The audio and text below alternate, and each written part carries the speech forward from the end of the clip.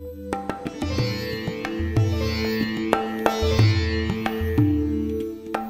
ජීවිතයක් කියන්නේ මොකක්ද? මේ ජීවිතයේ අද්දරට ගලාගෙන එන යම් යම් සහන පහසුව ගෙන දෙන අවස්ථා වගේම කම් කටළු ගැටලු අභියෝග විවිධාකාරයේ දේවල් මේ ජීවිතය අද්දරට එනවා. අපි ජීවිතයක් ජය ගන්නකොට මේ ජීවිත ගමනේ මේ දෙකම අපිට බාර ගන්න වෙනවා. සාමාන්‍යයෙන් කිව්වොත් අටලෝ දහම කියලා. ඒක සාමාන්‍යයෙන් භාවිතා කරාට කමක් නැහැ. මොකද අකම්පිත අශෝකං විරජං කියන වචනේ ගත්තොත් ශෝක නොකරන තැනට හිත ගත්තොත් අපිට පුළුවන් අකම්පිත කම්පා නොවන විදිහට ජීවිතේ ජය ගන්න. එතකොට යම් ආකාරයක අභියෝගාත්මක ජීවිත ගැටලුවකදී ඉස්සරලාම අපේ හිතට එන්නේ හිතේ අසාමාන්‍ය චිත්ත වේගයන් අසමතුලිත තත්ත්වයටපත් වෙනවා. ඒ චිත්ත වේගයන් සමතුලිත නැහැ. සාමාන්‍ය ගත්තොත් ව්‍යාකූල වෙනවා. එතකොට අපට එක ප්‍රශ්නයකින් ගැටලුවකින් තව ප්‍රශ්න ගණනාවක් නිර්මාණය වෙනවා. හැබැයි අපිට ප්‍රශ්නෙට උත්තරයක් හොයනකොට ගොඩාක් නොගැලපෙන දේවල් නොවිය යුතු දේවල් ගොඩාක් වෙලා තව ප්‍රශ්න ගණනාවක් ඉස්මතු වෙලා. ඒ නිසා අපි මෙවැනි අවස්ථාවලදී සිත් කරදර ගන්න නැතුව විශේෂයෙන් මතක තියාගන්න ඕන එකක්. සිත් කරදර ගන්න නැතුව මම කියන රාමුව තුල හිර වෙන්නේ නැතුව නිහඬව සාවධානව අභ්‍යන්තරයේ සංසුන් කරගෙන ඒ දිහා පොඩ්ඩක් නිවැරදිව දකින්න අපි පුරුද්දක් ඇති කරගත්තොත්.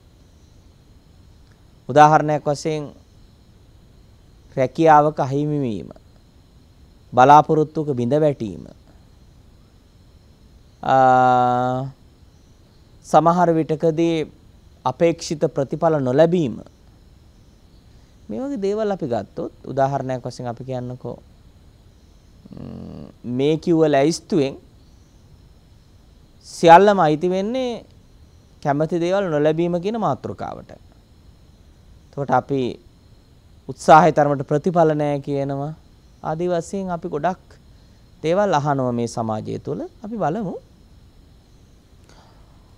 අපට ජීවිතේ අපි බලාපොරොත්තු වුණු දෙයක් අහිමුණයි කියලා. අහිමි කළාම කියලා බලමු. මේ අහිමි කළාට පස්සේ අපට එනවා පැති ගණනාවකින් සිතුවිලි එක පැත්තකින් දුක එනවා ශෝක භය එනවා තා පැත්තකින් ප්‍රතිවෘද්ධතාවයත් එක්ක ද්වේෂසිත ඇති වෙනවා තා පැත්තකින් බලාපොරොත්තු බිඳ වැටීමත් එක්ක දැඩි අසහනකාරී කලකිරීමක් එනවා.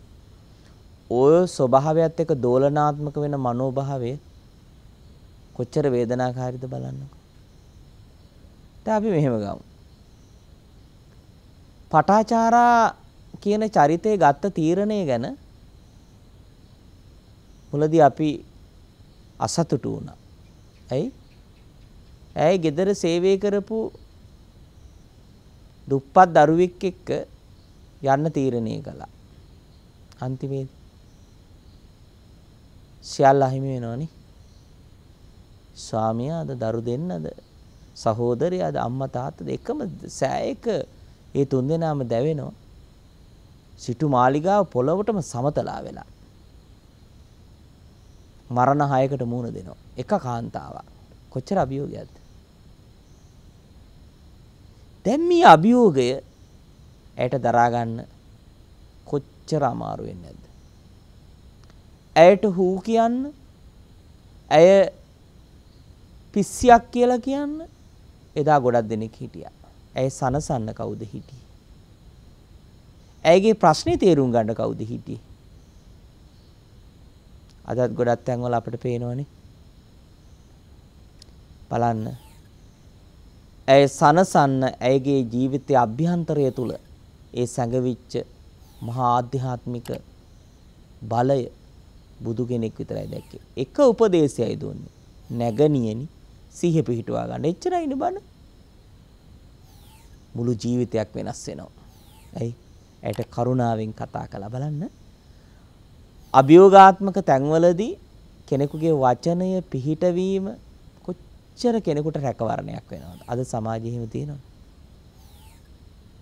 බලන්න ඇය මුලදී ගත්ත තීරණයේ හමුවේ ඇයට මේ භෞතික ලෝකේ ගොඩක් දේවල් අහිමි වෙනකොට විටකදී අය සිටු දියණියක් වෙනවා තවත් විටකදී සිහිමුලා වෙච්ච උමතු කාන්තාවක් වෙනකොට තවත් විටකදී මුළු ලෝකයක් සනසන්න පුළුවන් රහත් තෙරණියක් වෙනවා.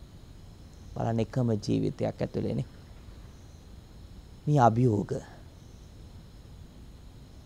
සාමාන්‍යයෙන් මමවත් මේ බණහන මගේ ශ්‍රාවක ප්‍රේක්ෂක පින්නතුන්වත් මෙවැනි අභියෝගාත්මක දෙයකට ජීවිතේ මුහුණ දීලා නැතුව ඇති. මේ පටාචාර්ට වෙච්ච දේ. නමුත් ඇයි ජීවිතේ ජයගත්තනේ? ඒ නිසා අපට නොලැබෙන දේවල් ගැන දුක් වෙනවට වඩා තියෙන දේ රැකගෙන අර ඊතලය විද්දලා ඊතලය වැදුනට පස්සේ ඊතලය ආවේ බටහිරෙන්ද උතුරෙන්ද ලෝහමයද පිත්තලද ඕව මෙව හොයනවට වඩා ඊතලේ වැදුණු කෙනාගේ තුවාලේ හොඳ කරන එක නේද හොඳ? අද මොකද කරන්නේ? ඊතලේ විද්දේ මොන වංශයෙන්ද? ආවේ කොයි දිසාවෙන්ද මොන වර්ගයේද? ලෙඩා මැරෙනවනේ. ආන්න හොඳ දෙයක් එතන අපි මේ ඇතිවෙච්ච ගැටලුව හඳුනා ගැනීම බාහිර සියල්ල අතහැර දාලා කල යුතු විසඳුම කරන්න ඕන පිළියම. අන්න එතරම් ඒක තියෙන්නේ. ලෙඩා මරණකන් ඉඳලා හරියන්නේ නැහැ. තුවාලේ හොඳ කරන්න ඕන එතන. ඊයාපු දිහා නෙමෙයි. විදපු කෙනා නෙමෙයි. අද සමාජයේ අපි දකිනවා රියානතුරක් වුණා කියන්නේ. වීඩියෝ කරන්න ඕන තරම් කට්ටිය. අර ලෙඩාව ගෙනියන්න කට්ටිය අඩුයිනේ. අඩුවිනේ. මිනිස්සුන්ගේ මනුසත් දම්කෝ. ඔන්න ඔව්වගේ තැන් අපි සමාජයේ හදාගන්න ඉන්නව පිහිට වෙන්න ඉන්නවා. හැබැයි ප්‍රමුඛතාවය අරකට වැඩි. පිහිට වෙන්න ඉන්නවා. හැබැයි බලන්න අපිට පේනවා මිනිස්සු තුල මේ අභියෝගාත්මක ගැටලු ප්‍රශ්න කියන මේ දේවල් හමුවේ සමහරු ජීවිතයෙන් වන්දි ගෙවන්න යනවා. සීදවි හානි කරගෙන ප්‍රශ්න විස්තරයද? සමහර සමහරු මද්ද්‍රව්‍ය පාවිච්චි කරලා ප්‍රශ්න විසඳන්න යනවා. විසඳුමක් හම්බ වෙනවා. කෙනෙකුට රිදවලා හොයන්න යනවා විසඳුම. හම්බෙනවද? හම්බෙන්නේ නැහැ. මතක තියාගන්න. හටගත්ත තැනම විසඳුම හදන්න අපිට පුළුවන්. මම එක දෙයක් කියන්න මහෝසද පඬිතුමා ගැන කතා වෙන්නේ උම්මංග ජාතකයේනේ. ඔබට මතකද? එක වෙලාවකදී මීලු නුවර වේදය රජුරුව තමන්ගේ ළඟම හිටපු පුරෝහිතයා සේනකනේ. සේනකට පණිවිඩයක් යවනවා. ඇයි? රජවාසලට එහා පැත්තේ අත්තරිච්ච ලිඳක මැණිකක් තියනවා කියලා ගම්මුන් කියනවා. සේනකට එන්න කියනවා සේනකට කියනවා මේක පරීක්ෂා කරලා බලන්න ඕනේ බලලා මේ මැණික තියෙනවා නම් ගන්න කියලා. සේනක මොකද කරේ?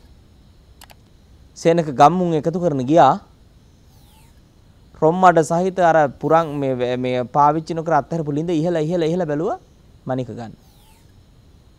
වතුර අඩු වෙනකොට මැණික නේ. දවස් ගානක් මොකද කරේ? මඩ ඉහෙනවා වතුර ඉහෙනවා.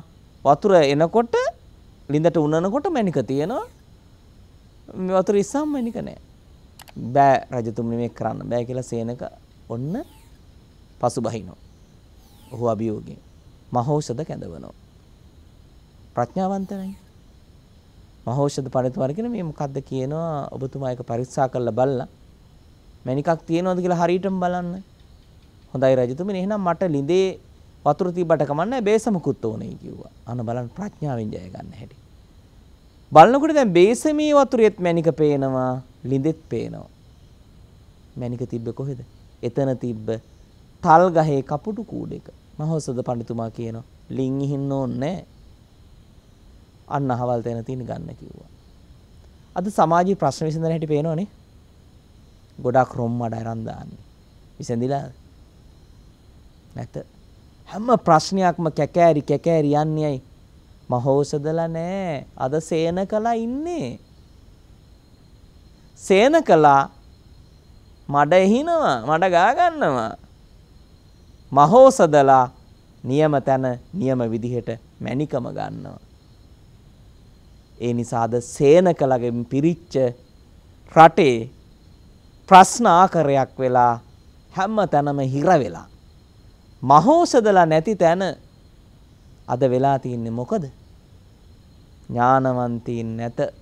ඒ නිසා රාජ්‍යාන්තරේ වේවා ඉතින් මෙහා පල්ලෙහාට පල්ලෙහාට පල්ලෙහාටම කඩා වැටිලා. එහෙනම් මේ ප්‍රශ්න හමුවේ ප්‍රඥාවන්තයෙක්ගේ ක්‍රියාකලාපය හරිම දාර්ශනිකයිනේ. හරිම දාර්ශනිකයි. අපි ජීවිතේට ගමුකෝ. අපි සේන කළා මඩේ හෙව්වට කමන්නේ. අපි තියෙන තැන හොයමු. ඒ නිසා වරද්ද ගන්න එපා. බොන ප්‍රශ්න නැත. ජීවිත නැති කරගන්න ප්‍රශ්න නැත. ගහ ගන්න ප්‍රශ්න නැත. සියලු දේ නුවණට ගෝචර කරගෙන ඒ හටගත්ත හේතු සකස් කරගෙන අපිට පුළුවන් ඒ සියල්ල විසඳ ගන්න. ඒ නිසා අනුන් මට්ටු කරලා රිදවලා විසඳුම් හොයන ක්‍රමයක් බුද්ධ ධර්මයේ නැත. ප්‍රඥාවට මුල් තැන දෙන විචාරශීලීත්වයට මුල් තැන දෙන දහමක්ය. මා විශ්වාස කරනවා. ප්‍රශ්නය හඳුනගමු. මහෝසද පඬිතුමා ගත්ත විදිහට ජීවිතේ ජය ගමු.